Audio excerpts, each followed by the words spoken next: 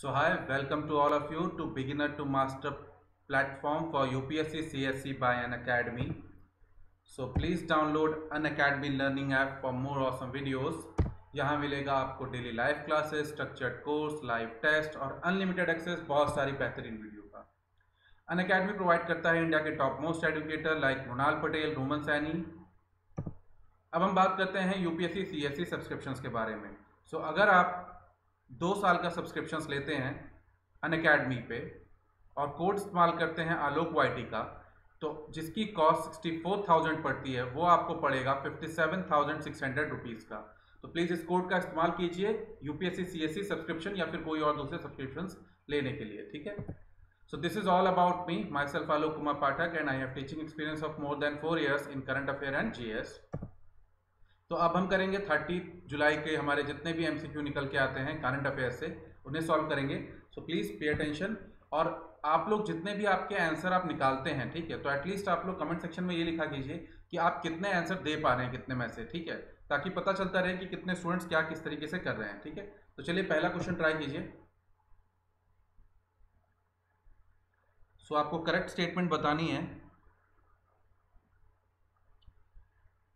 Related to new rules जो अभी आए हैं, किसे रेगुलेट करने के लिए किसे एक्जॉटिक स्पीशीज को एक्जॉटिक वाइल्ड लाइफ स्पीशीज जो हैं, उन्हें जो कंट्रोल करने के लिए जो नए रूल्स आए हैं, उससे रिलेटेड आपको, जो नए रूल्स आए हैं, उससे रिलेटेड ये क्वेश्चन सामने तो इसे सॉल्व करने की कोशिश करिए। तो चलिए, देखते हैं। आगे। तो पहला पॉइंट ये कहता है कि the wildlife crime control bureau is an organisation that is task with monitoring illegal trade of exotic wildlife species तो ठीक है, ये वाला तो एकदम सही है। सेकंड देखते हैं exotic life species will cover animals under appendices one two and three of the convention of international trade in endangered species CITES के अंडर ठीक है। नेक्स्ट है it will include species from schedule of wildlife protection act 1972 ये गलत है, ठीक है। तो इसके वाले नहीं आएँगे तो करेक्ट आंसर हो जाएगा आपका C that is one and two ठीक है। चलिए तो ये देखिए, ये न्यूज़ आई थी पूरी की पूरी, ठीक है? यहाँ से पूरा का पूरा ये आया था, पूरा का पूरा पोर्शन तो इसी से ये पूरा क्वेश्चन बनाया हुआ है, ठीक है? चलिए। तो देखते हैं करेक्ट आंसर क्या है? करेक्ट आंसर है आपका C correct answer is C तो एनवायरमेंट मिनिस्ट्री ने नई गाइडलाइंस जारी की जारी की है किसके लिए? एक्जॉटिक वाइल्ड लाइफ स्पीशीज के लिए। कौन देखेगा? Wild life crime control bureau देखेगा। कौन आते हैं? अपेंडिक्स वन सेकेंड और थर्ड जो है साइट्स के अंदर जितने भी जानवर आएँगे, वो सब आएँगे इसके अंदर। और जो वाइल्ड लाइफ प्रोटेक्शन एक्ट के अंडर जिन्हें प्रोटेक्शन अवेलेबल है जिन स्पीशीज को, वो इसके अंदर इंक्लूड नहीं होंगे, ठीक है? करंटली किसके अंडर है? Director general of foreign trade ministry of commerce and industry के अंडर ठीक है? नेक्स्ट है। अब चीफ वाइल्ड लाइफ वार्डन को भी क्या होगा? पूरी की पूरी, उसका जो भी स्टॉक है, उसकी पूरी लिस्ट बना के रखनी होगी। पूरी इन्वेंट्री बनाई जाएगी और जो भी स्टॉकिस्ट है, उसे छः महीने के अंदर अपने स्टॉक्स को डिक्लेयर करना होगा। और हमने पहले ही पढ़ा है कि एफएटीएफ ने पहले ही बता रखा है कि इनका जो ट्रेड है वो एक क्या बन चुका है? बहुत बड़ी प्रॉब्लम बन चुका है, ठीक है? चलिए। नेक्स्ट क्वेश्चन फिर से आप साइट्स के लिए क्योंकि साइट्स न्यूज़ में था तो साइट से रिलेटेड क्वेश्चन आपके सामने। है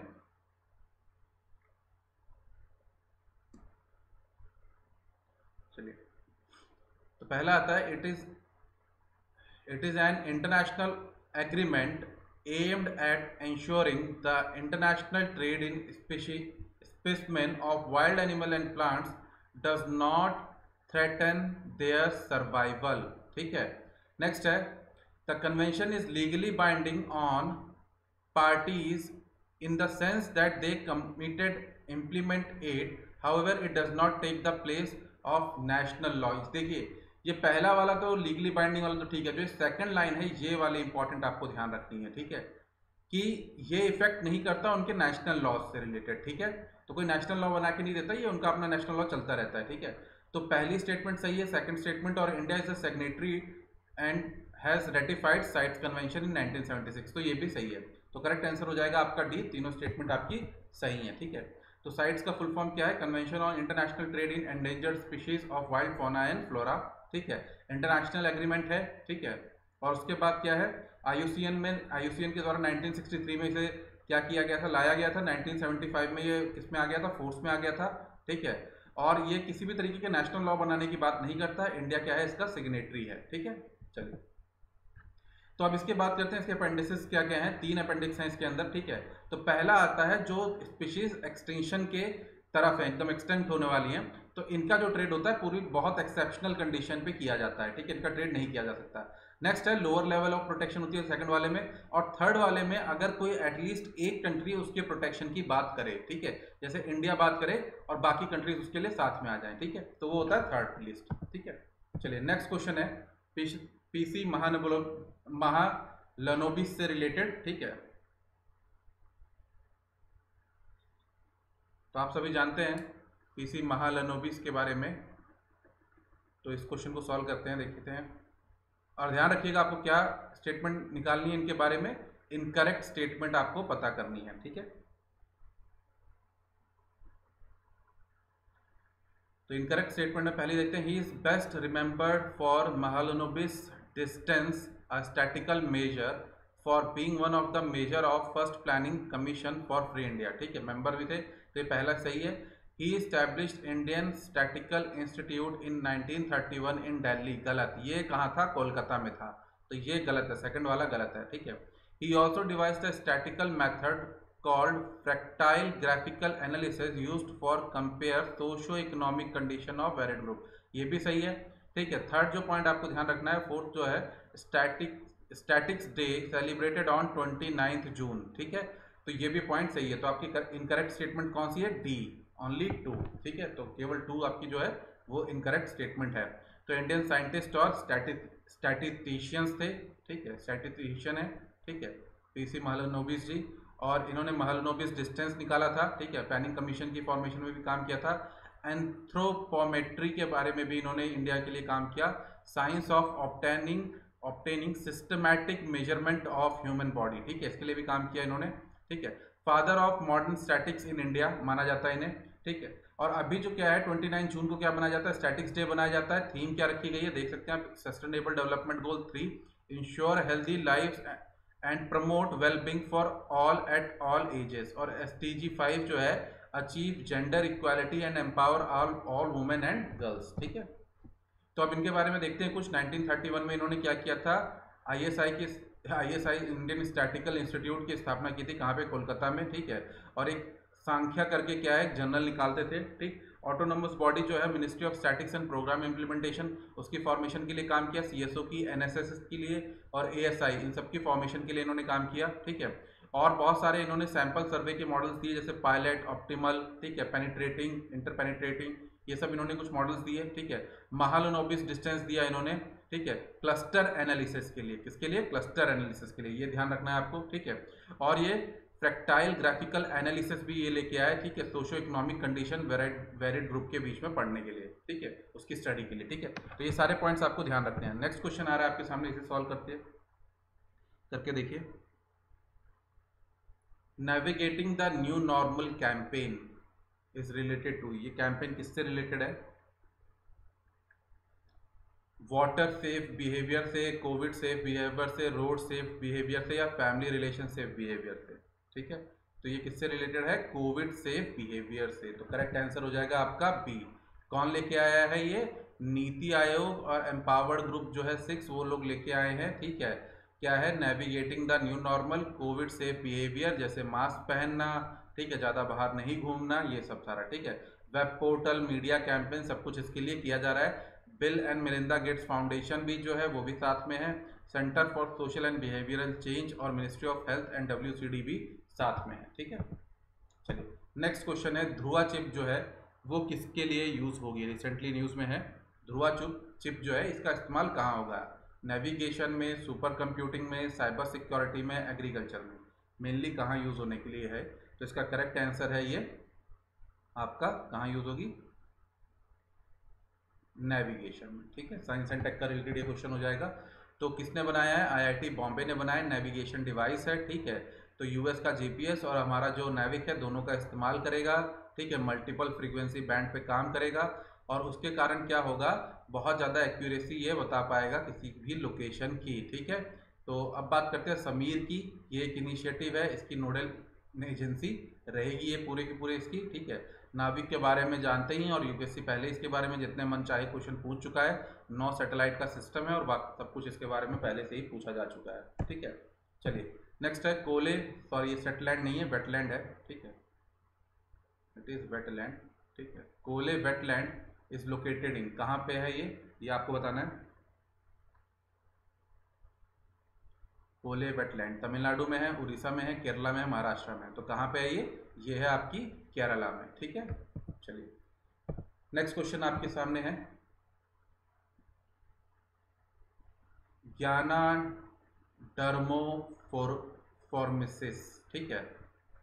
तो ये जो है एक रेयर बायोलॉजिकल फिनोमिना है, देख लीजिएगा, जो भी प्रोनाउंसिएट कर पाए आप लोग इसे is viewed by scientific community as genetic aberration is related to तो ये किससे रिलेटेड है, आपको ये बताना है, ठीक है? ये एक बायोलॉजिकल फिनोमिना है, ये किससे रिलेटेड है? तो इसमें ये पहला पॉइंट ये कह रहा है कि इंडिविजुअल्स जो होते हैं, उनके पास केवल फीमेल टिश्यू होता है दूसरा बोथ मेल फीमेल टिश्यू होता है और इंडिविजुअल्स के पास केवल मेल टिश्यू होता है और डिफरेंट स्पीसीज के टिश्यू होते हैं उसके पास। तो इसका करेक्ट आंसर है बी किसी भी इंडिविजुअल के पास क्या हो? मेल और फीमेल दोनों के टिश्यू हों उसके बॉडी में तो वही ये फिनोमिना कहता है जेनेटिक एपरेशन का। ठीक है? चलिए। तो ये देख सकते हैं, ये न्यूज़ आया था, पूरा आर्टिकल आया था रेयर बायोलॉजिकल फिनोमिना किसमें देखने को मिल रहा है? ड्रैगन फ्लाइज में देखने को मिल रहा है। ठीक है? तो ये पूरी की पूरी चीज़ इन्होंने देखी, कहाँ पे कोल कोले वाटरलैंड, वेटलैंड में, कहाँ पे? केरला में, ठीक है? तो इसमें इन्होंने देखा कि जो कुछ चीज़ें जो हैं, जैसे कि इसके कलर से रिलेटेड कुछ थी तो कुछ पार्ट जो है वो मेल के उसमें दिखता है और कुछ फीमेल के में उसमें दिखता है। तो इससे पता चला कि ये क्या दिखा रहा है? जेनेटिक एपरेशन दिखा रहा है और ज्ञाना डोरोमोफोब्स दिखा रहा है, ठीक है? यानी मेल फीमेल दोनों के क्या नाम है? टिश्यू इसमें देखने को मिलते हैं। और ये किसमें कॉमन होता है? ध्यान रखिएगा एंथ्रापोडा और क्रूटेशियस में ये कॉमन होता है आकिंडास में भी कॉमन होता है। अब ये सब आ गई बायोलॉजी की टर्म तो बेसिक जो बायोलॉजी है आपकी एनसीईआरटी लेवल की, वो आपको पढ़नी पड़ेगी। पूछ लेगा कि ये वाली जो चीज़ें हैं, ठीक है गाइनाड्रोमोफोब्स ये किस किस स्पीशीज में, किस किसमें मिलता है, ठीक है? तो ये दे देगा आर्किंडा में मिलता है क्यूटेसा में दिखता है एंथ्रोपोडा में दिखता है, ठीक है? तो ये आपको चीज़ें थोड़ी ध्यान रखनी होंगी, ठीक है? चलिए। तो वही है स्कारलेट्स कीमर, ठीक? इनमें देखने को मिला है ड्रैगन फ्लाई होते हैं, ठीक है? कहाँ पे? कोले वेटलैंड में मिले हैं तो इनमें कुछ अलग अलग चीज़ें दिखिए कि कुछ पार्ट जो है, जो फीमेल का फीमेल कलर का है, कुछ जो मेल में होता है और दोनों का मिक्सचर इनमें देखने को मिला है, ठीक है? इसी को ये टर्म कहा जाता है, लंबी चौड़ी वाली टर्म ठीक है? और इसमें ध्यान ये रखना है, इसी को जेनेटिक एपरेशन भी कहते हैं प्रोटेशियस और अकिंडास में और एंथ्रोपोडा में देखने को मिलता है, ठीक है? तो ये सारे के सारे, और ड्रैगन फ्लाई किस तरह काम करते हैं? ये बायो इंडिकेटर की तरह भी होते हैं आपके, ठीक है? बायो इंडिकेटर की अगर कोई बायोलॉजी या फिर कोई भी एनवायरमेंट में चेंज हो रहा है तो ये बता सकते हैं, ठीक है?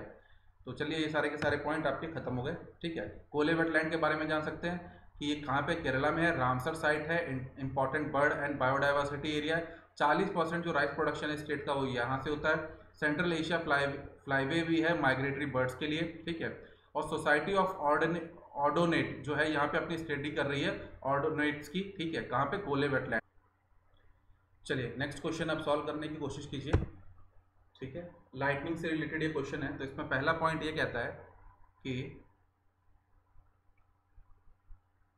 जो बिहार है सेकंड नंबर पे है after Uttar Pradesh in incidents of lightning lightning के इंसिडेंट में बिहार सेकंड नंबर पे, उत्तर प्रदेश नंबर वन पे है। दूसरा कह रहा है इंडिया में लाइटनिंग स्ट्राइक बहुत ज़्यादा पीपल्स को मारती है, दूसरे एक्सट्रीम वेदर इवेंट से। ठीक है? तो ये वाला पॉइंट और दोनों पॉइंट सही है। नेक्स्ट है अर्थ कह रहा है? Earth is a bad conductor नहीं, earth is a good conductor of electricity ठीक है? तो ये गलत स्टेटमेंट है और अर्थ इज़ इलेक्ट्रिकली न्यूट्रल ये वाली तो सही है, ठीक है?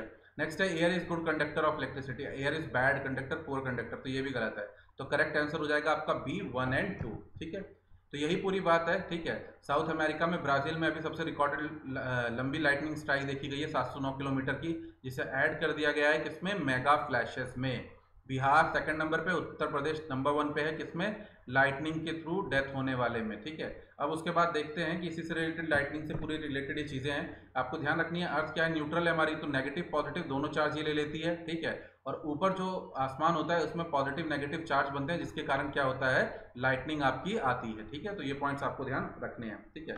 बाकी जोग्राफी जब आप बेसिक पढ़ेंगे तो उसमें पूरी की पूरी चीज़ें आप यहाँ पे देख ही सकते हैं कि किस तरीके से पूरा लाइटनिंग के क्या क्या कारण होते हैं, ठीक है? तो अब इसमें कुछ पॉइंट्स हम यहाँ पे देख लेते हैं, जो मेन पॉइंट्स हैं। ठीक है? तो अर्थ क्या है? गुड कंडक्टर ऑफ़ इलेक्ट्रिसिटी है।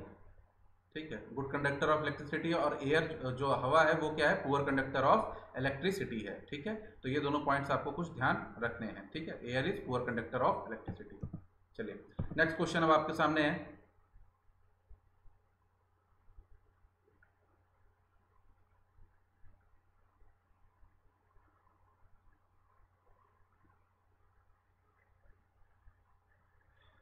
तो इसमें पहला कह रहा है करेक्ट ऑप्शन आपको निकालना है। तो सेक्शन 490 जो है अडल्ट्री से related of Indian penal code क्या उसमें ये कहा गया है कि cannot command married couple to remain loyal to each other for the fear of penal punishment ठीक है? दूसरा कहता है article 135 of supreme court has power to review its own judgement and order दोनों गलत हैं, ठीक है? दोनों ही गलत हैं। थर्ड देखते हैं review petition must be filed within thirty days of date of judgement of order while the judgement is in final decision in case in an order is an interim ruling that is subject to the final verdict ठीक है तो सही है केवल जो three है आपका, यानी डी आंसर वही आपका सही आंसर है। तो देखिए, ये पूरा का पूरा है। सुप्रीम कोर्ट ने एक रिव्यू पिटिशन थी किससे रिलेटेड अडल्ट्री से रिलेटेड तो उसे पूरी तरीके से खारिज कर दिया है। ठीक है तो वही पूरा का पूरा चीज़ है, आपको यह ध्यान रखना है, कौन सा सेक्शन है? सेक्शन 497 है अडल्ट्री से रिलेटेड ठीक है, चलिए तो उसी को देखते हैं। सुप्रीम कोर्ट ने इसको पूरी तरह खारिज कर दिया और उसमें क्या है? कि इसमें ये कह रहा है कि मैरिड कपल को मजबूर नहीं किया जा सकता एक दूसरे के खिलाफ लॉयल रहने के लिए किसी भी पैनल पनिशमेंट की वजह से, रहना है रहे, नहीं रहना नहीं रहे, ठीक है? फिर उसके बाद सेक्शन 497 किससे अडल्ट्री से ही रिलेटेड है, ठीक है? फिर उसके बाद बात करते हैं सुप्रीम कोर्ट किसी भी अपने जजमेंट को रिव्यू कर सकता है अंडर आर्टिकल 137 ऑफ़ रिव्यू जिसमें वो अपने आप को किसी भी, अपने किसी भी पुराने जजमेंट को क्या कर सकता है रिव्यू कर सकता है, ठीक है? तो यही पूरा वर्डिक था। तो इसी से रिलेटेड ये सारे पॉइंट है। आप बात करते हैं कि जो रिव्यू की जो पावर है, उसमें देख रहे हैं हम लोग कि सुप्रीम कोर्ट किन किन चीज़ों में रिव्यू जो वर्डिक्ट कर सकता है, वो किस तरीके से कर सकता है, ठीक है? तो अगर वो फाइंड करता है, वो देखता है कि इसमें कुछ ना कुछ एविडेंस नया एविडेंस देखने को मिल रहा है, ठीक है? किसी तरीके का एरर दिख रहा है और सफिशियंट रीजन उसे कुछ मिल रहा है तो उस जजमेंट को क्या कर सकता है? रिव्यू कर सकता है, ठीक है? उसके लिए उसने नाइन प्रिंसिपल दिए रिव्यू जजमेंट के लिए अंडर यूनियन ऑफ़ इंडिया के Sandur, manganese and iron of ore cases में, ठीक है? इस केस में केस का नाम ध्यान रखने की कोई खास ज़रूरत नहीं है। नाइन प्रिंसिपल हैं कुछ, ठीक है? और उसमें उसने कई सारी बातें कही हैं, ठीक है? तो आप देखिए, इसमें कुछ मेन चीज़ें आपको ध्यान ये रखनी है कि थर्टी डे के अंदर इसकी पिटीशन डालनी होती है। अगर कोई एक्स्ट्रा ऑर्डनरी सिचुएशन नहीं है तो ठीक है? चलिए, अब बात करते हैं इसके बारे में। नेक्स्ट क्वेश्चन आ जाइए। चलिए नेक्स्ट क्वेश्चन अब आपके सामने है।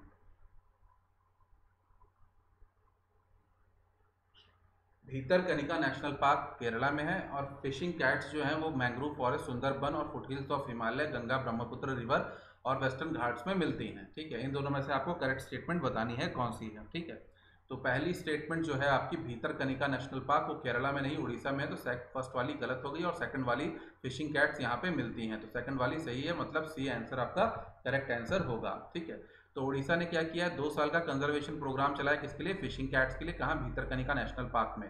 नॉक्टरल है मतलब रात में एक्टिव होती है स्टेट एनिमल है किसकी? वेस्ट बंगाल की, और ये सारा इनका हैबिटेट एरिया है, जो उसमें पहले से ही क्वेश्चन में लिखा हुआ है। और आईयूसीएन की रेड लिस्ट में किसमें आती है? वनरेबल कैटेगरी में आती है साइट्स में अपेंडिक्स टू में आती है। अभी हमने पढ़ा कि साइट्स में अपेंडिक्स टू में क्या क्या आता है। नेक्स्ट है Indian wild life protection act 1972 में शेड्यूल वन में आती है मतलब प्रोटेक्शन इन्हें काफ़ी ज़्यादा अवेलेबल है। ठीक है, चलिए नेक्स्ट क्वेश्चन अब देखते हैं। इसको सॉल्व कीजिए।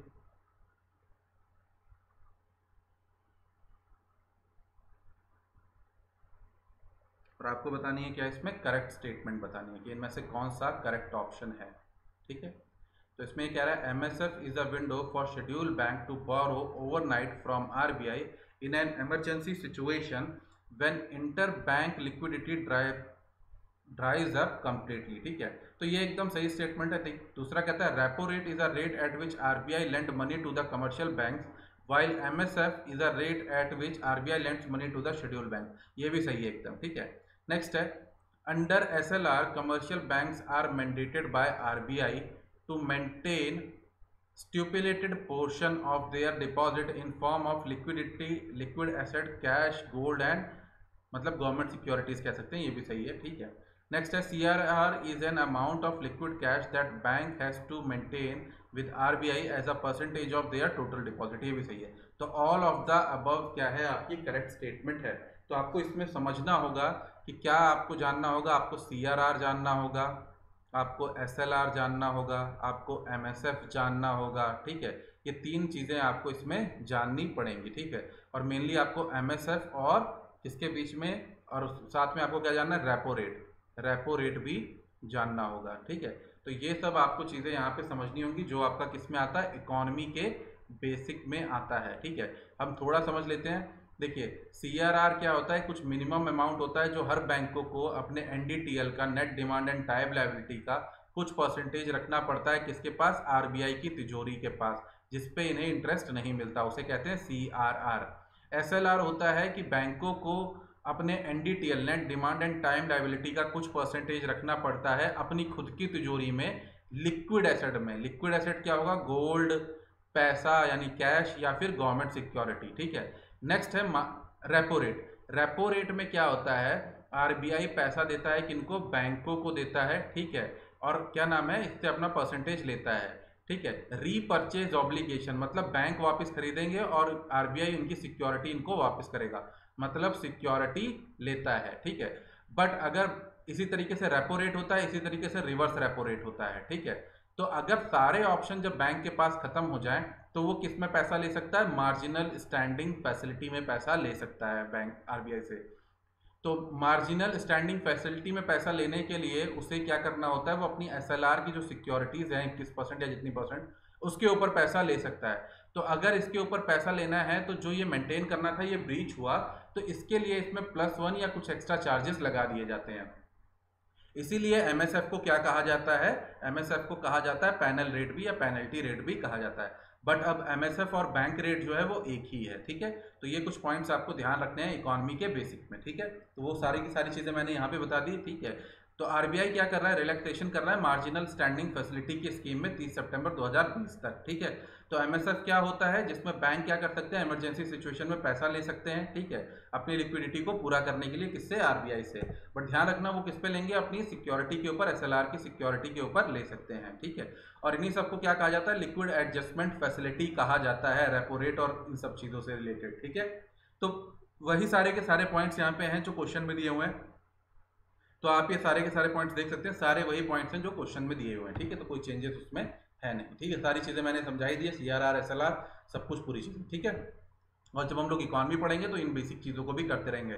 जैसे अभी हमारा तो पॉलिटी चल रहा है तो अभी उसी को चलाते हैं, ठीक है? चलिए नेक्स्ट क्वेश्चन अब आपके सामने है।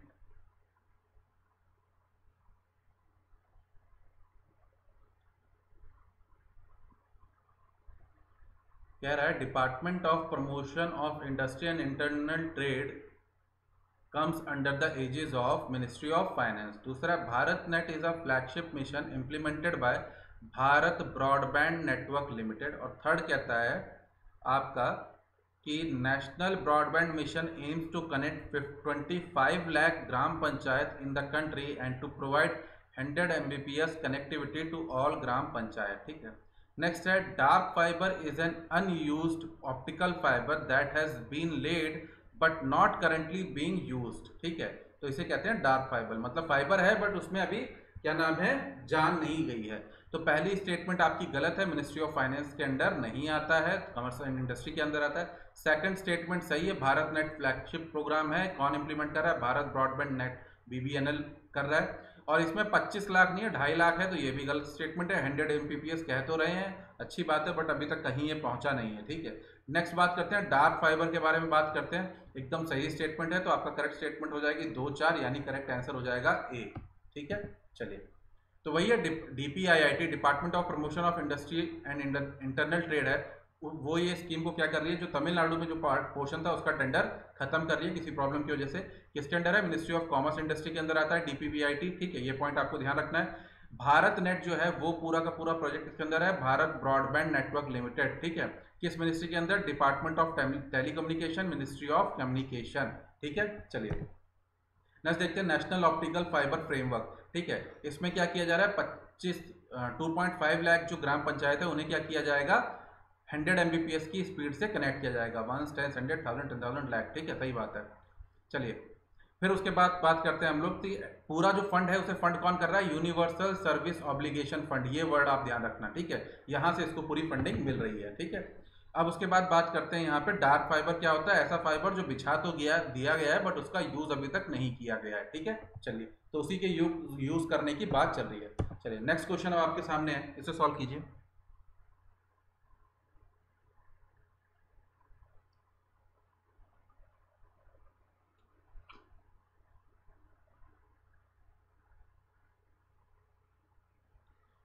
चलिए क्वेश्चन ये है कि सेवेंटी थर्ड और seventy fourth constitutional amendment act जो है, वो किन प्राइम मिनिस्टर के समय में आए थे, इनैक्ट हुए थे, ठीक है? तो इस तरीके के क्वेश्चन बनते रहते हैं। जवाहरलाल नेहरू, इंदिरा गांधी पीवी नरसिम्हा राव या अटल बिहारी वाजपेयी। तो किसके लिए? पीवी नरसिम्हा राव के समय में ये आए थे। तो correct answer will be C चलिए नेक्स्ट क्वेश्चन है। पीवी नरसिम्हा राव जी के बारे में सारी स्टेटमेंट दी गई हैं। आपको इसमें से बतानी कौन सी स्टेटमेंट सही है, ठीक है? तो पढ़िए जरा स्टेटमेंट को, फिर बताइए।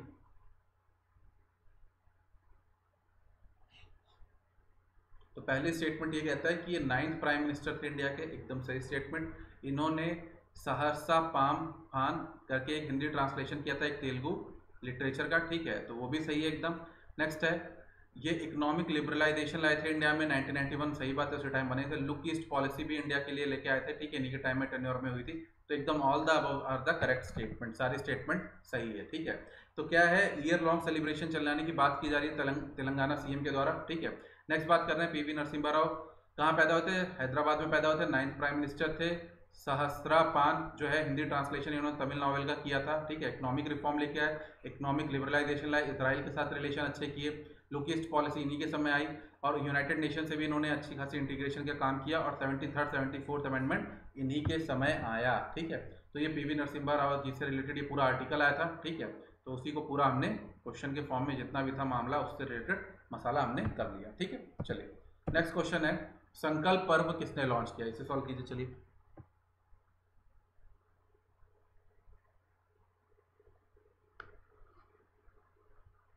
तो संकल्प पर्व किसने लॉन्च किया? Ministry of transport ministry of culture ministry of science and tech या मिनिस्ट्री ऑफ़ एनवायरनमेंट तो मिनिस्ट्री ऑफ़ कल्चर ने इसे लॉन्च किया है। क्या है? इसमें प्लांट किए जाएँगे ट्रीज को प्लांट किया जाएगा। ये सारे ट्री किए जाएँगे जिनकी मेडिसिनल प्रॉपर्टी है। इससे पहले और सारे कई प्रोग्राम चल रहे हैं, जैसे नगर वन स्कीम, ठीक है? कम, कंपनसेटरी एफॉरेस्टेशन फंड, ठीक है? C fund, CAMPA C M P है जिसमें क्या होता है, अगर कोई भी लैंड जो है, वहाँ पे अगर कोई भी इंडस्ट्री डाली जाती है तो उसका पैसा इतना रखा जाता है, पेड़ काटे अगर गए हैं तो उनका पैसा रखा जाता है और उतने पेड़ दूसरी जगह उसका कंपनसेशन करके लगाया जाता है, ठीक है? फिर नेशनल मेडिकल प्लांट बोर्ड जो है अंडर आयुष मिनिस्ट्री वो क्या करेगा? मेडिसिनल प्लांट्स की उसके लिए हर्बल गार्डन बनाएगा, ठीक है? और जयपुर और उड़ीसा ने ऐसा किया है कि भाई, अगर वहाँ पे कोई भी नई कंपनी को दिया जा रहा है तो उन्हें क्या करना होगा? कोई भी अगर लाइसेंस लेना है सिविल सोसाइटी का किसको भी तो उसे क्या लेना, करने होंगे? प्लांट्स लगाने पड़ेंगे, ठीक है? तो ये कुछ इनिशिएटिव है, आप लिख सकते हैं, ठीक है? नेक्स्ट है, India A K two zero three assault rifle और K A two two six two light utility helicopter किस कंट्री से परचेज करने जा रहा है, ठीक है? तो ये क्वेश्चन आपके सामने है। यूएसए से करने जा रहा है यूके से करने जा रहा है फ्रांस से करने जा रहा है रशिया से करने जा रहा है। तो इंडिया किससे करने जा रहा है? रशिया से इन्हें एक्वायर करने जा रहा है। तो यही पूरी स्टेटमेंट है, ठीक है? A K two zero three assault rifle और K A two sixty six sixty two two six T light utility है हेलीकॉप्टर तो किससे परचेज करने जा रहा है? रशिया से। और एस फोर हंड्रेड की डील तो हमारी पहले से जिन चल रही है मिसाइल डिफेंस सिस्टम जो है, ठीक है? चलिए। नेक्स्ट है। ये कुछ है न्यूज़ आप थोड़ा ध्यान रखिएगा। सबरीमाला से रिलेटेड क्वेश्चन वापस उन्होंने कहा कि कुछ लोगों ने पिटीशन डाली कि आप इसे वापस रिव्यू कीजिए। इसके अंदर आर्टिकल 25 में क्या आता है? रिलीजियस फ्रीडम के बारे में आता है। ठीक है? तो यही कुछ था, आप थोड़ा ध्यान रखिएगा। आर्टिकल 25 किससे रिलेटेड बात है? रिलीजियस फ्रीडम से रिलेटेड है। ठीक है? चलिए। नेक्स्ट है मपीला अपराइजिंग से रिलेटेड बहुत सारी चीज़ें, बहुत चीज़ें न्यूज़ में आती जा रही है लगातार। ठीक है? तो यहाँ पे आपको बस एक चीज़ ध्यान रखनी है कि इनका हेड कौन था। ठीक है? पहले भी हम लोग कर चुके हैं। वीर या मुकुन्नत कुन्ना अहमद हाजी। ठीक है, ये नाम आप बस ध्यान रखिएगा कि मापीला जो रिपोर्ट था, मपीला रिपोर्ट जो था, इसके कौन से ये हेड थे? कब हुआ था? 1921 में हुआ था। ठीक है, ये कुछ पॉइंट आप बेसिक से इसमें ध्यान रखिएगा, जो आगे चल के हिंदू, मुस्लिम क्या बन गया था? थोड़ा कम्युनल टेंशन भी लेके ये आ गया था। ठीक है तो ये सारे पॉइंट्स आपको ध्यान रखने होंगे मपीला रिवोल्ट के रिलेटेड ठीक है करंट अफेयर है बट हिस्ट्री में भी रिलेटेड करके ये क्वेश्चन पूछे जाते हैं। ठीक है तो चलिए तो यहाँ पे हमने जितने भी हमारे करंट अफेयर के एमसीक्यू थे, ठीक है, आज के डेट के, ठीक है, वो सारे हमने खत्म कर लिए, ठीक है। अब हम आ जाते हैं वापस अपने स्टैटिक पोर्शन पे। स्टैटिक पोर्शन में हम लोग जो कर रहे हैं, अपना इंडियन पॉलिटी कर रहे हैं, ठीक है। और इंडियन पॉलिटी में अभी तक जो हम लोग खत्म कर चुके हैं, वो हम लोग कर चुके हैं प्रियम्बल ऑफ़ इंडियन कॉन्स्टिट्यूशन ठीक है मेकिंग ऑफ़ इंडियन कॉन्स्टिट्यूशन फिर उसके बाद हम लोग कर चुके हैं historical background of Indian constitution फिर उसके बाद हम लोग क्या कर चुके हैं हिस्टोरिकल बैकग्राउंड के बाद हम लोगों ने कर लिया अमेंडमेंट इन इंडियन कॉन्स्टिट्यूशन जिसमें हमने जो अमेंडमेंट्स हैं उन्हें नहीं पढ़ा है अमेंडमेंट के तरीके पढ़ लिए ठीक है? उनको लास्ट में पूरा का पूरा कर लेंगे। क्योंकि अमेंडमेंट देखिए, जो अमेंडमेंट है, इन्हें शुरुआत में रटने की कोशिश मत कीजिए। जैसे जैसे आप पॉलिटी पढ़ते जाएँगे तो सारे अमेंडमेंट साथ साथ पढ़ते जाएँगे। तो इन्हें रटने की कोई ज़रूरत नहीं है, ये सारे के सारे पूरे पॉलिटी के साथ ही चलते जाते हैं। फिर उसके बाद बेसिक स्ट्रक्चर था बेसिक स्ट्रक्चर हमने कर लिया, और हमने साथ में क्या कर लिया? Salient feature of Indian constitution कर लिया, ठीक है?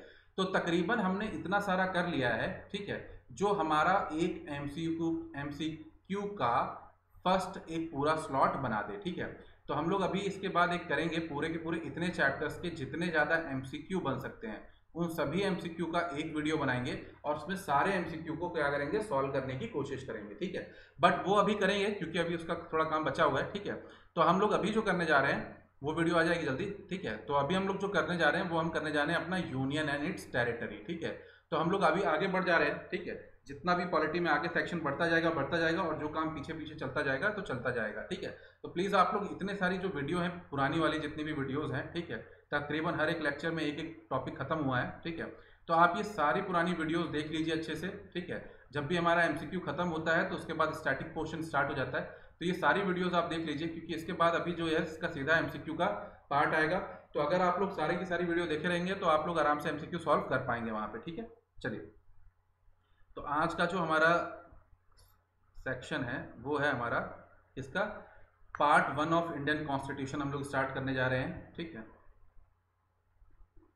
Part one of Indian constitution ठीक है? कौन सा chapter?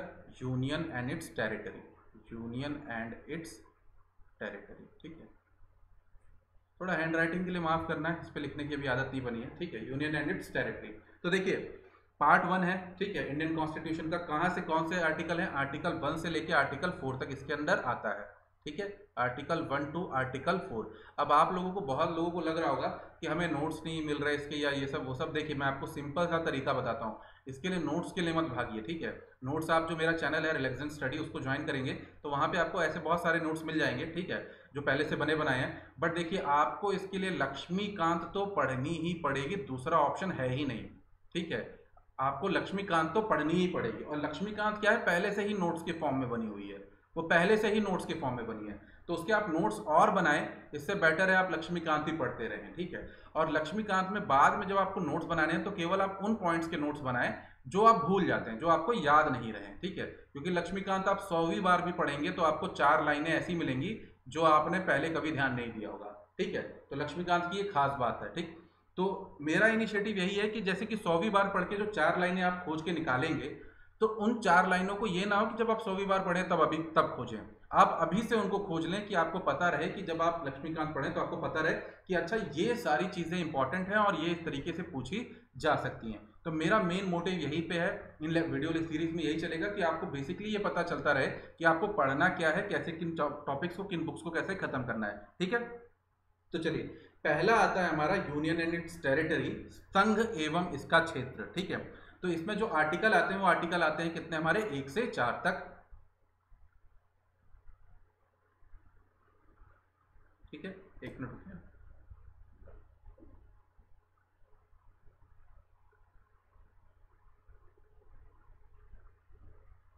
तो आर्टिकल एक से चार तक आता है, ठीक है? तो अब देखते हैं हम लोग। तो गया ऑप्शन ठीक चलिए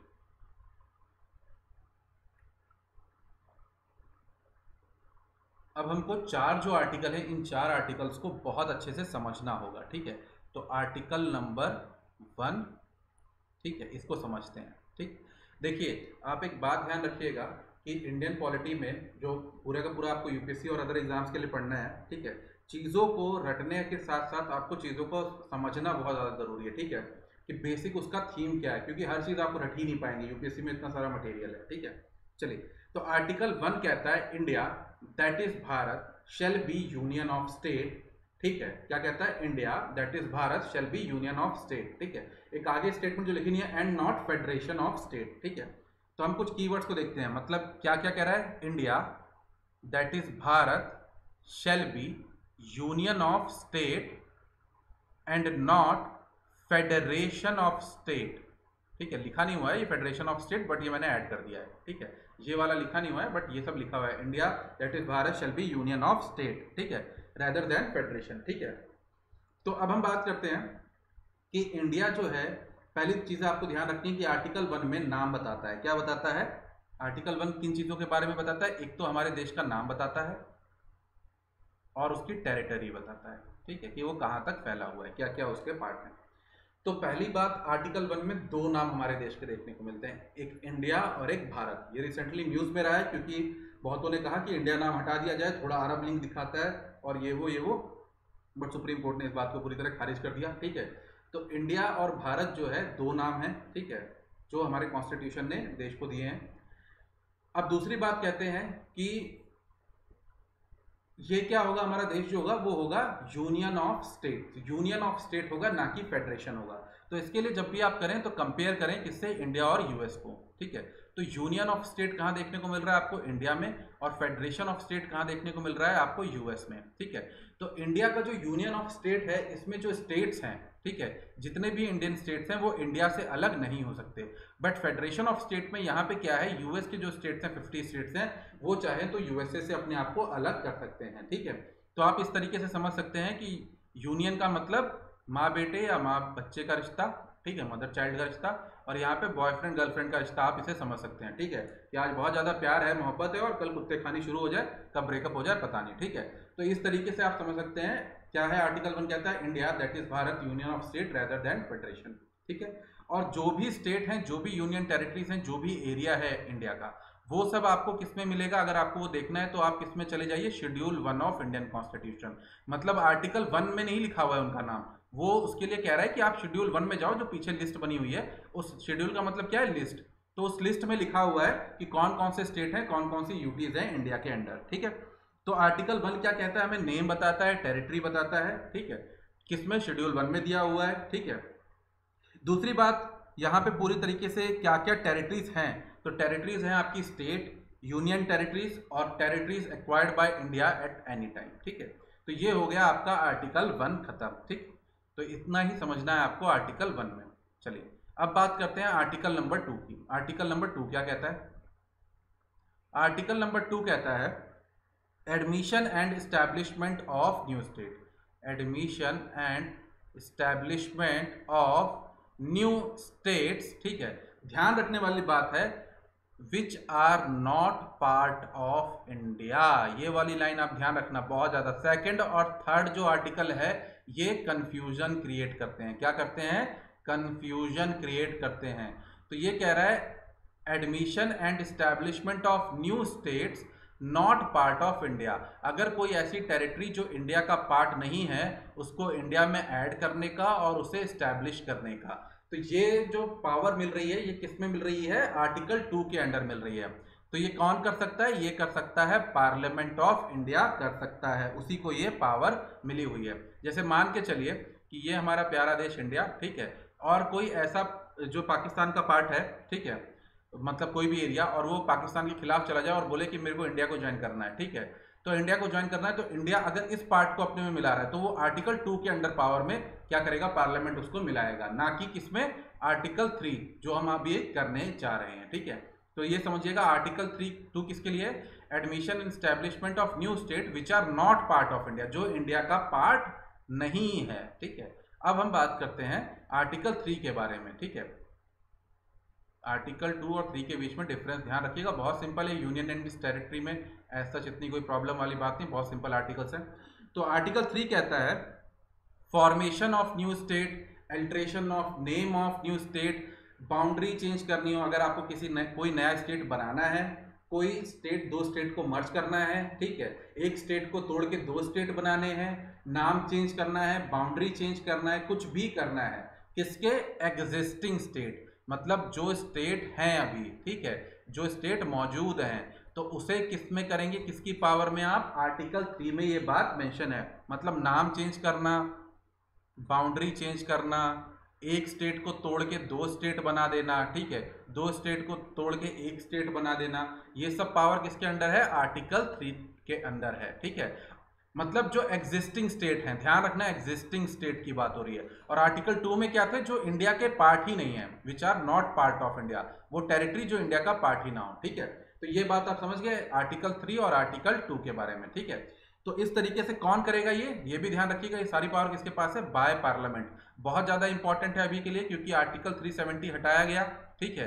तो इसके कारण क्या हुआ, एक यूटी को क्या बना दिया गया? दो यूटी एक एक यूटी बनाया गया और एक तरीके से दो यूटी बना दिया गया, ठीक है? तो ये जो किया गया, ये आर्टिकल थ्री की पावर के अंडर किया गया, ना कि आर्टिकल टू की पावर के अंडर किया गया, ठीक है? चलिए। अब नेक्स्ट हम देखते हैं कि अगर पार्लियामेंट में आपको ऐसा कोई बिल लाना है जिसमें नाम चेंज करना है बाउंड्री चेंज करनी है, या कुछ भी ऐसा करना है, दो स्टेट को मर्ज करना है, ठीक है? तो इसके लिए प्रोसीजर क्या है? तो पहला प्रोसीजर ये है कि आर्टिकल थ्री के अंदर आपको इंक्रीज डिक्रीज नाम चेंज करना, दो स्टेट को मर्ज करना, एक स्टेट को तोड़ के दो स्टेट बनाना है। तो पहली चीज़ ये है कि ऐसा बिल जाएगा किसके पास? ऐसा अगर कोई बिल लेके आना है तो पहले जाएगा प्रायर रिकमेंडेशन ऑफ़ प्रेसिडेंट तो प्रेसिडेंट की प्रायर रिकमेंडेशन ज़रूरी होती है, उससे पहले पूछा जाता है, ठीक है? तो प्रायर रिकमेंडेशन ज़रूरी होती है। फिर ऐसा बिल जो होगा प्रेसिडेंट किसको भेजेगा? स्टेट के पास भेजेगा, जो भी कंसर्न स्टेट है, ठीक है? जिनका नाम चेंज किया जा रहा है या कुछ भी किया जा रहा है। तो फिर वो स्टेट अपने व्यूज़ भेजेंगे किसको? वापिस प्रेसिडेंट को भेजेंगे अपने व्यूज़ जिसके लिए टाइम मेंशन कुछ भी नहीं है, ठीक है?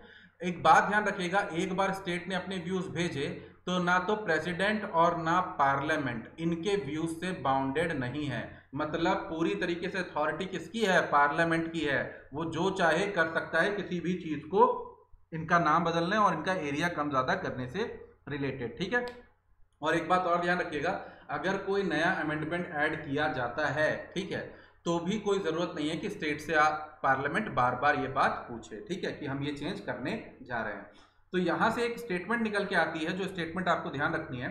कि India is an indestructible union of destructible state मतलब इंडिया में स्टेट तो खत्म हो सकते हैं बट यूनियन कभी खत्म नहीं हो सकता है। ठीक है? तो इसके बारे में सेकंड पॉइंट आप ये समझ के रखिए कि पार्लियामेंट जो है इंडिया का जो पॉलिटिकल मैप है, उसको रीड्रॉ कर सकता है। तो parliament can read of political map of India according to its will अगर ये स्टेटमेंट आया तो ये स्टेटमेंट बिल्कुल सही होगी। ठीक है? चलिए। नेक्स्ट देखते हैं आर्टिकल फोर क्या कहता है? आर्टिकल फोर कहता है ये कि अगर आर्टिकल फोर क्या कहता है? अब देखते हैं आर्टिकल फोर क्या कहता है। आर्टिकल फोर ये कहता है, देखिए बड़ा सिंपल टर्म आपको समझना है कि अगर कोई भी चेंजेस या अमेंडमेंट किए जा रहे हैं आर्टिकल टू और आर्टिकल थ्री में, ठीक है? किसी भी तरीके के चेंजेस हो रहे हैं आर्टिकल टू और आर्टिकल थ्री की वजह से तो ये नहीं आएगा किसके अंडर? आर्टिकल 368 के अंडर, जो हम पहले ही कर चुके हैं अमेंडमेंट इन इंडियन कॉन्स्टिट्यूशन के अंडर। मतलब क्या नहीं चाहिए? स्पेशल मेजॉरिटी नहीं चाहिए। तो कैसे हो जाएगा? ये हो जाएगा सिंपल मेजॉरिटी से। तो अगर Jammu and Kashmir state reorganisation act या अमेंडमेंट आया तो वो किस मेजोरिटी से पास हुआ होगा? सिंपल या स्पेशल तो वो हुआ होगा सिंपल मेजोरिटी से। तो अगर कोई भी करंट अफेयर भी आप पढ़ते चलें तो ये ध्यान रखें, आपको ये ध्यान रखना होता है कि सिंपल मेजोरिटी से हुआ है या फिर स्पेशल मेजोरिटी से हुआ है। तो ये पॉइंट आप ध्यान रखेंगे, ठीक है? चलिए, अब उसमें एक और बात ध्यान रखिएगा कि इसमें ये एक और कह रहा है चीज़ कि अगर को, कोई भी चेंज इसमें हो रहा है आर्टिकल टू एंड थ्री में तो वो किसमें नहीं आएगा? आर्टिकल थ्री सिक्सटी एट में नहीं आएगा ठीक है? और दूसरी बात ये भी है कि किसी भी तरीके का जो अमेंडमेंट है ठीक है? First and fourth schedule first and fourth schedule तो हम शेड्यूल ऑफ़ इंडियन कॉन्स्टिट्यूशन भी कर चुके हैं पुरानी वीडियोस देखो। अगर फ़र्स्ट और फोर्थ शेड्यूल में कोई भी अमेंडमेंट हो रहा है तो ये क्या है? सप्लीमेंटल है इंसिडेंटल है कॉन्सिक्वेंटल है। तीन वर्ड इसने इस्तेमाल किया। इसका मतलब ये है कि किसी चीज़ के सबॉर्डिनेट है। मतलब इतना कोई खास मामला नहीं है। तो जब इतना कोई खास मामला नहीं है तो इसके लिए सिंपल मेजोरिटी इस्तेमाल की जा सकती है, ठीक है? तो ये चार, चारों आर्टिकल थे आपके किससे related union in its territory से रिलेटेड अब हम देखते हैं कि किस तरीके से एवोल्यूशन हुआ हमारे यहाँ पे अदर स्टेट्स का, ठीक है? तो सबसे पहले देखिए, आज़ादी का जब समय आया तो आज़ाद के, आज़ादी के समय ऑप्शन दिया गया सभी स्टेट्स को जो प्रिंसली स्टेट थे, या तो इंडिया ज्वाइन कर लो या फिर पाकिस्तान ज्वाइन कर लो। तो तीन स्टेट्स थे जो कहीं ज्वाइन करने को तैयार नहीं हो रहे थे। एक तो जूनागढ़। तो जूनागढ़ को भारत ने कैसे अपनाया? रेफरेंडम के थ्रू ठीक है? तो हमने जब अपनी पहली सीरीज़ की थी प्रियम्बल की तो प्रियम्बल में आप जाएँगे तो डायरेक्ट डेमोक्रेसी के जो भी तरीके हैं, वो वहाँ पे मैंने अच्छे से कराए हैं, ठीक है? तो जब जूनागढ़ किससे आया? रेफरेंडम के थ्रू पब्लिक से जनमत संग्रह के थ्रू पूछा गया और उसका भारत में विलय हो गया, भारत में इंटीग्रेशन हो गया, ठीक है? नेक्स्ट है हैदराबाद। हैदराबाद को कैसे अपनाया? भारत ने कैसे अपने में मिलाया? पुलिस एक्शन के थ्रू ठीक है? नेक्स्ट है जम्मू कश्मीर, जो रिसेंटली न्यूज़ में रहा। इससे कैसे अपनाया? भारत ने कैसे मिक्स किया था अपने में? इंस्ट्रूमेंट ऑफ़ एसेशन से, ठीक है? तो ये तीन स्टेट्स को इस तरीके से अपने में जोड़ा। अब पॉइंट्स जो मैं बता रहा हूँ, इन पॉइंट्स को ध्यान रखिएगा कि जो इंटीग्रेशन हुआ था प्रिंसली स्टेट्स का भारत में, वो एडॉक एग्रीमेंट था। एडॉक यानी टेम्परेरी एग्रीमेंट था। तो जो प्रिंसली स्टेट थे, उनको लगा था कि कल हम आज़ाद हो जाएँगे, ठीक है? और भारत भारत ने अपने व्यू में ये किया, इंडिया ने अपने व्यू में ये किया कि ये जो एडॉक एग्रीमेंट है, ये कल खत्म हो जाएगा। मतलब जो तुम्हें स्पेशल प्रिविलेज दिया वो खत्म है, उसके बाद कोई मामला ही खत्म है, ठीक है? तो क्या था? एडॉक एग्रीमेंट था। नेक्स्ट है, उसके बाद स्टार्ट हो गई डिमांड स्टार्ट हो गई लिंग्विस्टिक स्टेट की। किसकी डिमांड हुई? लिंग्विस्टिक स्टेट की डिमांड शुरू हो गई। तो इसके लिए मतलब भाषा के आधार पे किसे बनाने की? राज्यों को बनाने की डिमांड शुरू हो गई। तो इसके लिए 1948 में एक कमेटी बनाई गई, ठीक है? लिंग्विस्टिक प्रोवेंशियल कमेटी किसकी अध्यक्षता में? एस के धर की अध्यक्षता में। इसीलिए इसे धर कमीशन भी कहा जाता है, ठीक है? और इसने ये कहा कि भैया, जो आप भाषा के आधार पर राज्य बनाना चाहते हैं, उसे ना बनाएँ। आप किसके आधार पर बनाएँ? एडमिनिस्ट्रेटिव कन्वीनियंस के हिसाब से बनाएँ। कि आपको एडमिनिस्ट्रेशन करने में आसान हो, ना कि आप भाषा के आधार पर बनाएँ, ठीक है? तो इसके लिए फिर से वापस लोगों ने और थोड़ा कहा कि नहीं भाई, ये सही नहीं है। तो 1948 में वापस एक कमेटी बनी जे कमेटी। क्या बनी? जवाहरलाल नेहरू वल्लभ भाई पटेल और पीता भाई सीतारमैया कमेटी, ठीक है? और इसने भी यही कहा कि किसके हिसाब से बनाया जाए? एडमिनिस्ट्रेटिव कन्वीनियंस के हिसाब से ही बनाया जाए। फिर उसके बाद चीज़ क्या हुई? अक्टूबर 1953 ठीक है 1953 सॉरी पट्टी श्री रामलू, ठीक है, क्या नाम था? पट्टी श्री रामलू, ठीक है, कांग्रेस के लीडर थे, ठीक है, इन्होंने, इनकी डेथ हो गई कितनी? 56 डे की हंगर स्ट्राइक के बाद, ठीक है, फिफ्टी डे की हंगर स्ट्राइक की इन्होंने, जिसके बाद इनकी डेथ हो गई, क्योंकि ये डिमांड कर रहे थे लिंग्विस्टिक स्टेट की, और तब जाके पहला इंडिया का फ़र्स्ट लिंग्विस्टिक स्टेट बना, कौन सा? आंध्र प्रदेश। कौन बना आंध्र प्रदेश और किसको अलग करके? इसके लिए अलग किया गया तेलुगु स्पीकिंग पब्लिक को, जो तेलुगु स्पीकिंग पीपल्स थे, कहाँ के? मद्रास के, उन्हें अलग करके इसे बनाया गया। ठीक है? चलिए, अब हम बात करते हैं, अक्टूबर 1953 हो गया। अब जब ये बन गया तो इसके बाद अदर जो लोग थे, उन्होंने भी क्या किया? अदर स्टेट्स ने भी डिमांड शुरू कर दी अदर डिमांड शुरू हो गई लिंग्विस्टिक स्टेट की। तो इसके लिए क्या बनाया गया? आपका फैजल अली कमीशन बनाया गया। क्या बनाया गया? फैजल अली कमीशन 1950 1953 सॉरी 1953 ठीक है? तो इसमें जो फैजल अली कमीशन बनाया गया, फैजल अली इसके हेड थे स्टेट रीऑर्गेनाइजेशन कमीशन भी कहा जाता है स्टेट रीऑर्गेनाइजेशन कमीशन ठीक है? तो ये बनाया गया। तो इसमें जो मेंबर थे कौन कौन थे? फैजल अली थे के एम पानीकर थे, आपको मेंबर ध्यान रखने हैं, और एच एन कुनरूज, ये तीन मेंबर थे। इन्होंने कहा कि देखो, जो लैंग्वेज बेस है, उसे तो मान लिया, ठीक है? और इन्होंने कहा but one language one state का जो कॉन्सेप्ट है, ठीक है, वो इन्होंने रिजेक्ट कर दिया। मतलब लैंग्वेज बेस तो माना but one language one state वाला कॉन्सेप्ट इन्होंने खत्म कर दिया, ठीक है, उसको नहीं माना, ठीक? तो ये पॉइंट्स आपको ध्यान रखने हैं इस चैप्टर में। अब आगे देखते हैं, आगे क्या ध्यान रखना है आपको?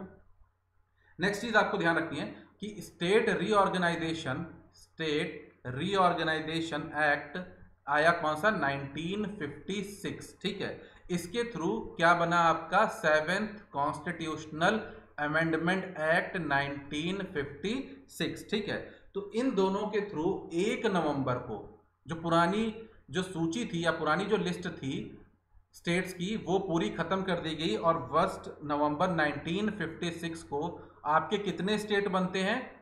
चौदह स्टेट्स बनते हैं सॉरी फोर्टीन स्टेट्स और आपके बनती हैं सिक्स यूनियन टेरिटरी ये पॉइंट आपको ध्यान रखना अगर पूछे फ़र्स्ट नवंबर 1956 को कितने थे? 14 स्टेट सिक्स यूनियन टेरिटरी और state reorganisation act 1956 seventeen constitutional amendment 1956 ने इतने स्टेट और यूनियन टेरिटरी बनाए। अब आम बात है, इसके बाद जो नए स्टेट बने, उनके बारे में जानना होगा, नई यूटी जो बनी, उनके बारे में जानना होगा, ठीक है?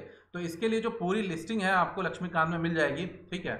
अब आपको ध्यान क्या रखना है उस लिस्ट में? सबसे बड़ी बात है मतलब फॉर्मेशन ऑफ़ जो न्यू स्टेट्स हैं ठीक है? फॉर्मेशन ऑफ़ न्यू स्टेट जो है आफ्टर फोर्टीन ठीक है? उनके बारे में क्या क्या ध्यान रखना है आपको मैं बताता चलता हूँ, आप समझते चलिएगा चीज़ों को, ठीक है? तो देखिए, इसमें पहली चीज़ आपको क्रोनोलॉजिकल ऑर्डर ध्यान रखना होगा।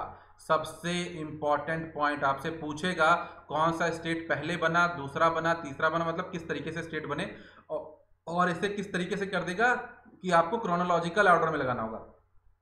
ईयर के ऊपर नहीं पूछेगा, आपको रटने की ज़रूरत नहीं, आपको थोड़ा ये ध्यान रखना होगा कि गोवा पहले स्टेट बना, कि तमिलनाडु बना, कौन सा स्टेट पहले स्टेट बना, ताकि आप क्या करें ऑप्शन स्ट्रकआउट कर पाए। जब हम एमसीक्यू करेंगे तो इन सब चीज़ों को करते चलेंगे, ठीक है? तो हम देखते चलते हैं, देखिए क्या क्या है। 1953 में आंध्रा बनता है, तेलुगु स्पीकिंग जो पॉपुलेशन है, उसे मद्रास से अलग करके, ठीक है? 1960 में महाराष्ट्र एंड गुजरात दो नए स्टेट बनते हैं। 1961 में दादर एंड नगर हवेली, ठीक है? ये एक क्या बनती है? यूनियन टेरिटरी बनती है। क्या बनती है? यूनियन टेरिटरी बनती है। कैसे बनती है? जो किसका पार्ट थी? पोर्तुगल का पार्ट थी। किसके किसके पास थी? पोर्तुगल के पास थी। और इसके लिए एक अमेंडमेंट आया। टेंथ कॉन्स्टिट्यूशनल अमेंडमेंट एक्ट 1961 तो अब मुझे आप बताइए, टेंथ कॉन्स्टिट्यूशनल अमेंडमेंट एक्ट 1961 जो है, वो आर्टिकल टू के अंडर आया होगा कि आर्टिकल थ्री के अंडर आया होगा? ये सवाल आप कमेंट सेक्शन में इसका जवाब दीजिए पक्का। ठीक है? नेक्स्ट गोवा दमन दीव जो है 1962 में यूटी बनाया गया इंडिया का। ये भी पोर्तुगीज से एक्वायर किया गया। और इसके लिए जो अमेंडमेंट लाया गया था, वो था फोर्टीन कॉन्स्टिट्यूशनल अमेंडमेंट एक्ट 1962 तो अब आप फिर बताइए, किस आर्टिकल के अंडर के लिए चेंज करके लाया गया होगा? आर्टिकल टू के अंडर या आर्टिकल थ्री के अंडर ठीक है, चलिए। नेक्स्ट है 1962 पौंडीचेरी यूनियन टेरिटरी बना इंडिया का। ठीक है फ्रेंच से एक्वायर किया गया। Fourteen constitutional amendment act fourteen sorry 1962 के अंदर, ठीक है? नेक्स्ट 1963 में आपका नागालैंड बना स्टेट 1966 में 1963 में नागालैंड सॉरी 1966 में तीन स्टेट आए, हरियाणा, चंडीगढ़ और आपका हिमाचल प्रदेश, ठीक है? चंडीगढ़ आपकी यूटी बनी. 1972 में तीन स्टेट आए, मणिपुर, त्रिपुरा और मेघालय. 1975 में सिक्किम को भारत में जोड़ा गया, ठीक है? इसके लिए एक आर्टिकल डाला गया आर्टिकल टू ए ठीक है? ध्यान रखिएगा, दो अमेंडमेंट रिलेटेड हैं। किससे? सिक्किम से रिलेटेड एक तो है thirty fifth constitutional amendment act 1974 ठीक है, जिसमें इंडिया का क्या बनाया गया? उसे एसोसिएटेड स्टेट बनाया गया। और उसके बाद है thirty six constitutional amendment act ठीक है 1975 जिसमें इंडिया का उसे क्या बनाया गया? फुल स्टेट बनाया गया, ठीक है। फिर उसके बाद ध्यान रखिएगा thirty three seventy one F ठीक है, कौन सा article three seventy one F और इसमें क्या बनाया गया? स्पेशल प्रोविज़न दिया गया फॉर एडमिनिस्ट्रेशन ऑफ़ सिक्किम ठीक है? चलिए नेक्स्ट उसके बाद देखते हैं 1987 ठीक है? 1987 में तीन स्टेट बन के आए। कौन कौन से? मिजोरम, अरुणाचल प्रदेश और गोवा। कौन कौन से मिजोरम, अरुणाचल प्रदेश और गोवा। नेक्स्ट है आर्टिकल फिर आया 2000 2000 में कौन से तीन स्टेट बने? चंद, आपका बना चंडीगढ़, आप सॉरी आपका बना छत्तीसगढ़, उत्तराखंड और झारखंड। ठीक है? नेक्स्ट है 2014 2014 में फिर कौन सा स्टेट बना आपका? तेलंगाना। किससे अलग करके? आंध्रा से अलग करके। और फिर 2019 में आपकी दो नई यूटी आई कौन सी? Jammu and Kashmir and Ladakh. ठीक है, दो नई यूटी आपकी बनी। तो इस तरीके से इन सारे स्टेट का एवोल्यूशन हुआ। अब हम बात करते हैं कि क्या आर्टिकल तीन के अंडर यूनियन गवर्नमेंट के पास या पार्लियामेंट के पास ये पावर है कि इंडिया का कोई भी टेरिटरी जो है, वो किसी दूसरी कंट्री को दे सकता है। ठीक है, ये क्वेश्चन पूछा जाता है। ठीक है तो ये क्वेश्चन का जवाब सुप्रीम कोर्ट ने दिया कि किसमें? बेरूबारी यूनियन केस 1960 में, ठीक है? किसमें दिया? ध्यान रखिएगा, बेरू बारी यूनियन केस 1960 इसमें सुप्रीम कोर्ट ने कहा कि आर्टिकल तीन के अंडर पार्लियामेंट को पावर नहीं है किसी भी एरिया को सीड, यानी किसी दूसरी कंट्री को देने की, ठीक है? तो इसके लिए आपको क्या करना पड़ेगा? अमेंडमेंट करना ही पड़ेगा, ठीक है? तो ये बात यहाँ पे सामने आई, ठीक है? बट आगे चल के सुप्रीम कोर्ट ने एक और बात की, ठीक है, कि सुप्रीम कोर्ट अपनी जजमेंट देख चेंज कर सकता है, आपको पता है सुप्रीम कोर्ट अपनी जजमेंट को क्या कर सकता है? रिव्यू कर सकता है। किस आर्टिकल के अंडर ये आपको कमेंट सेक्शन में बताना है, आज की क्लास में किया है। तो इसके बाद सुप्रीम कोर्ट ने यह कहा कि देखिए, अगर बाउंड्री डिस्प्यूट जो है, दो कंट्रीज़ के बीच में, उसको रिजोल्व करने के लिए किया जा रहा है तो अमेंडमेंट की ज़रूरत नहीं है, क्योंकि ये एक एग्जीक्यूटिव एक्शन के थ्रू भी किया जा सकता है, ठीक है? तो ये पूरा का पूरा जो चैप्टर था आपका यूनियन एंड इट्स टेरिटरी का, ये पूरा हमारा आज खत्म हो गया, ठीक है? तो अभी जो हम लोग क्लास में जो अभी करेंगे हम लोग, वो हम करेंगे, एक क्लास लेंगे जिसमें हम जितना भी हमारा पहले के जितने चैप्टर्स हुए यूनियन टेरिटरी से पहले के, उन सभी के हम सारे एमसीक्यू करेंगे। तो प्लीज़ आप उन सारे भी चैप्टर्स को पढ़ लीजिए लक्ष्मीकांत से, जितनी जल्दी हो, ताकि हम लोग उससे रिलेटेड एमसीक्यू कर सकें। So thank you best of luck take care but take care नहीं, उससे पहले ध्यान रखिए, आप लोग अगर चाहें तो मुझे कांटेक्ट कर सकते हैं इस नंबर पे। ये मेरा चैनल है रिलेक्शन स्टडी यहाँ पे आप ज्वाइन कर सकते हैं और आप कोड कर सकते हैं। इस्तेमाल अलो क्वाटिको to get ten percent discount on Unacademy subscription so thank you best of luck